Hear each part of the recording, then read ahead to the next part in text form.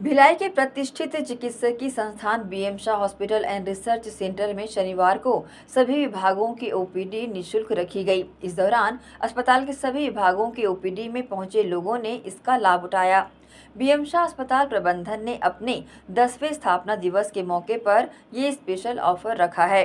बता दें, BM Shah hospital अपने स्थापना की दसवीं वर्षगांठ 12 मई रविवार को मनाने जा रहा है और इस दिन को खास बनाने के लिए प्रबंधन द्वारा एक दिन पहले ही 11 मई शनिवार को सभी विभागों की ओपीडी निःशुल्क की गई थी।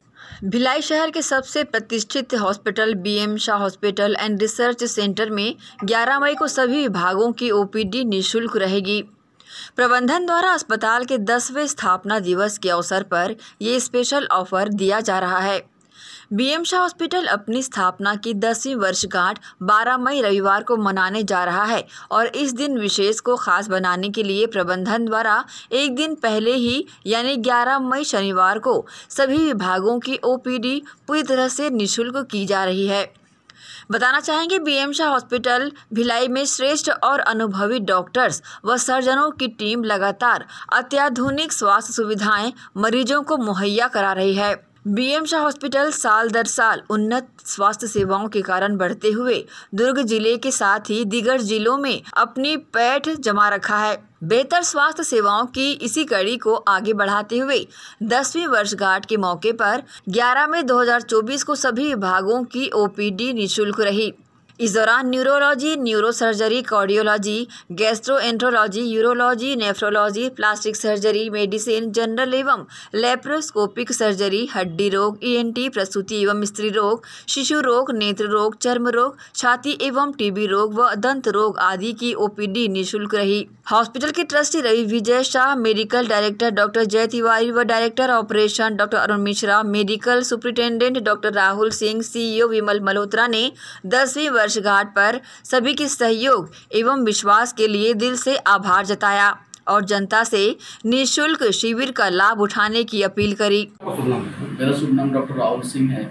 मैं एज ए जनरल और लेप्रोस्कोपिक सर्जन पिछले दस साल से यहाँ पे कार्यरत हूँ और एट प्रेजेंट मैं यहाँ पे एज ए मेडिकल सुपरिटेंडेंट भी काम देख रहा हूँ। जैसा कि आप लोग जानते हैं कि 12 मई को हमारा स्थापना दिवस है और इस दिन हमारा नर्सिस डे भी होता है, इसलिए हमने ये इस दिन को चुना। अभी जैसे कि पिछले दस साल से हमारा जो अस्पताल है, वो दिन ब दिन बहुत सारी उन्नतियों को प्राप्त कर रहा है और उपलब्धियाँ प्राप्त कर रहा है। और अभी हमारे अस्पताल में ऐसा कोई भी डिपार्टमेंट नहीं है जो ना हो। हमने सभी डिपार्टमेंट को जोड़ लिया, सारे डिपार्टमेंट के एक्सपीरियंस और सीनियर कंसल्टेंट हमारे पास हैं, जो कि अपनी सेवाएँ 24 घंटे दे रहे हैं। तो इसीलिए मैं जनता से अपील करूँगा कि वो आगे भी अपना ऐसा प्यार जो उन्होंने दस, पिछले दस वर्षों में दिया है वो बनाए रखें और आगे भी हमारे पे ऐसे ही विश्वास जताए रखें कि हम उनकी सेवाएँ कर सकें। इसी उपलक्ष्य में हम लोग ने ये डिसाइड किया कि आज ग्यारह तारीख को हम लोग दसवें स्थापना दिवस के उपलक्ष्य में हमने फ्री ओपीडी रखी है सभी डिपार्टमेंट की मतलब किसी भी डिपार्टमेंट में। वैसे भी हमारे पास जो ओपीडी की फ़ीस है, पूरे दुर्ग लाइन में सबसे कम है। हम लोग सौ रुपये में किसी भी डिपार्टमेंट में चाहे वो गैस्ट्रो हो नीरो हो, देखते हैं मरीज़। लेकिन उसके अलावा भी आज हमने अपनी ओपीडी पूरी तरीके से फ्री रखी हुई है। मैं चाहता हूँ लोगों को इस चीज़ का ज़्यादा से ज़्यादा लाभ उठाएँ और ज़्यादा से ज़्यादा आके हम लोग को भी विश्वास जताएँ अपना। और मैं आगे भी चाहूँगा जिस तरह से दस साल हमें प्यार मिला है आप लोग का विश्वास मिला है आगे भी वो बना रहे और आगे भी हमें वो प्यार मिलता रहे। तो निःशुल्क ओपीडी का आज कितने लोगों ने लाभ उठाया? अगर मैं सिर्फ़ अपनी ओपीडी देखूँगा देखूँगा बता सकता हूँ मैं आज तो मैंने खुद ही आज 25 मरीज़ देख लिया अभी एज ए सर्जन ये मेरे लिए बहुत ज़्यादा पेशेंट है, एक दिन में 25 मरीज़ देखना। क्योंकि जनरली होता है क्या है कि सर्जन के पास लोग कम आते हैं।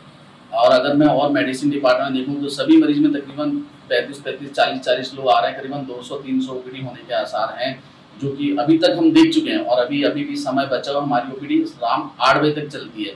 क्योंकि हमारे पास कई डॉक्टर्स हैं कंसल्टेंट हैं सीनियर कंसल्टेंट जो रात को आठ बजे तक भी बैठते हैं। सर सामान्य ओपीडी और आज की ओपीडी में क्या अनुभव रहा था। अनुभव ये रहा कि मुझे मरीजों का जो प्यार है वो वैसा ही बना हुआ है। मरीज़ लोग विश्वास के साथ आज भी आ रहे हैं और ऐसा नहीं कि वो फ्री ओपीडी के ही कारण आ रहे हैं हमारे पास।